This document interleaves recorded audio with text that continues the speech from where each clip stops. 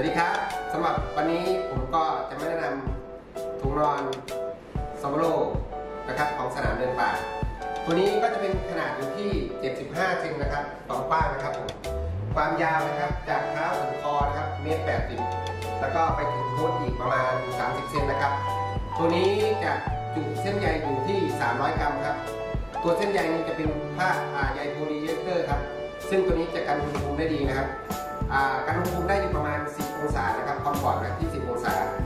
ส่วนตัวผ้านะครับสำหรับผ้าด้านนอกนะครับ ตัวนี้จะเป็นผ้าโพลีเอสเตอร์ 210T นะครับ ตัวนี้จะเคลือบ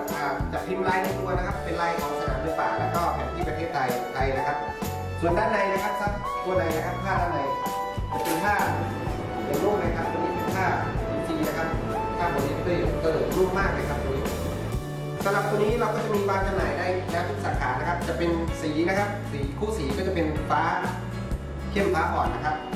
อ่าสำคัญนิดนึงนะครับ ตัวนี้สำหรับถุงนอนของสนามเดินป่าทุกรุ่นเลยครับยกเว้นรุ่นพีเกียนะครับ จะสามารถต่อซิปเป็น2หัวได้นะครับ ต่อซิปสองหัวเป็นผ้าสองผืนได้ครับก็ง่ายๆครับเราต้องหนึ่งการเลือกซื้อถุงนอนที่จะต่อซิปกันได้คือซิปต้องเป็นสองหัวแบบนี้นะครับ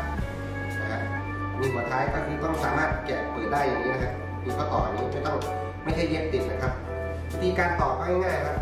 แล้วก็แกะถือตัวถือหนึ่งมาก่อนนะครับและสองนะครับตัวเลือกซื้อคือขนาดความกว้างกว้างยาวต้องเท่ากันนะครับแกะออกขี้ออกมาปั๊บ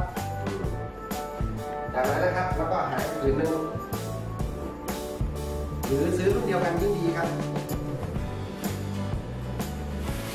แต่ว่าคือตัวนี้หัวจะกลับด้านนิดนึงนะครับ เพราะว่ามันไม่ใช่ซิปซ้ายซิปขวา ซึ่งเมื่อก่อนนี่จะเป็นซิปซ้ายซิปขวา ซึ่งจะประกอบแล้วหัวมันจะอยู่ฝั่งเดียวกันนะครับ แกะออกไปเลยครับ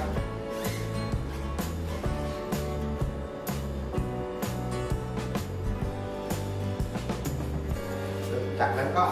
พับลงครับ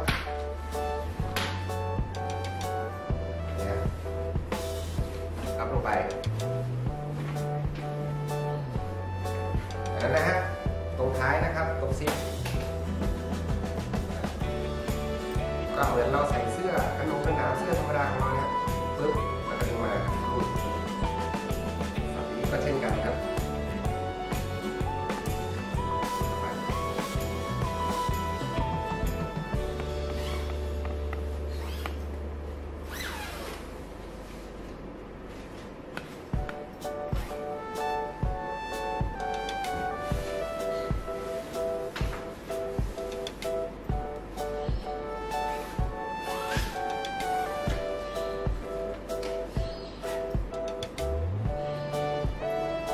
อะ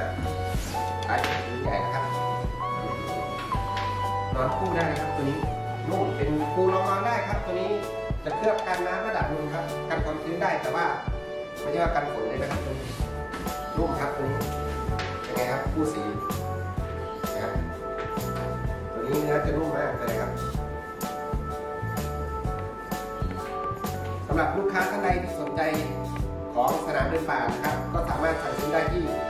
เฟซบุ๊กสนามเดินป่าหรือเว็บไซต์สนามเดินป่าคือ camping หรือไม่ไม่ก็ไลน์ add หรือไม่ก็ติดต่อซื้อตามห้างนะครับสำหรับสินค้าทั่วไปก็มี Supersports สปอร์ตเบอร์ Sports Mall นะครับยังไงก็ขอฝากลูกค้าด้วยนะครับขอบคุณครับ